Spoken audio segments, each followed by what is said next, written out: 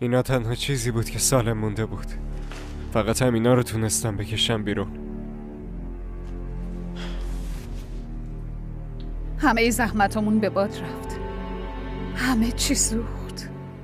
تا وقتی حالتون خوب باشه اینا جبران میشه. تو چطور می‌تونی اجازه بدی همه اینجوری بهت نگاه کنن و فکر کنن تو قاتلی و بهشون نگی که کار تو نبوده؟ حتی اگه بگم چیزی تغییر نمی‌کنه. کی گوش میده؟ علی من دیگه نمی‌تونم تحمل کنم. همه مردم تو رو مقصر می‌دونن. شب و روز پشت سر تو حرف می‌زنن. اما من می‌دونم تو بیگناهی. ریمو دیگه این حرفو نزن. وگرنه یه مشکل دیگه هم پیش میاد. نمی‌خوام اتفاقی برات بیفته. چشمایی پر از خشم برادرتو دیدی؟ قضیه داره بزرگتر میشه. مردم باید حقیقت رو بفهمن.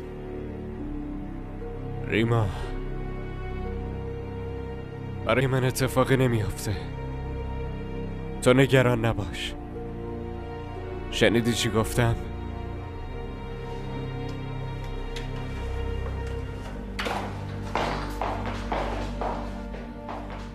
مونا اینقدر خودتو اذیت نکن. چیزی نشده عزیز دلم.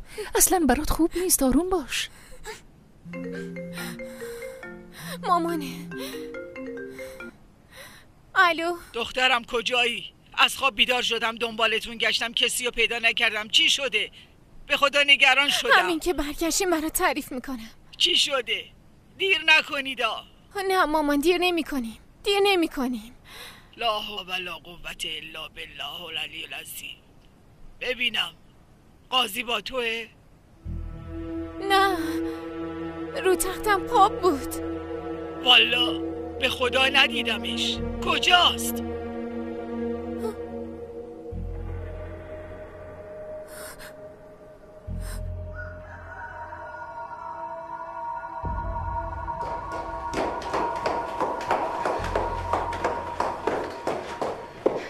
شد؟ پیداش نکردم. وای خدای من هیچ کس بالا نیست.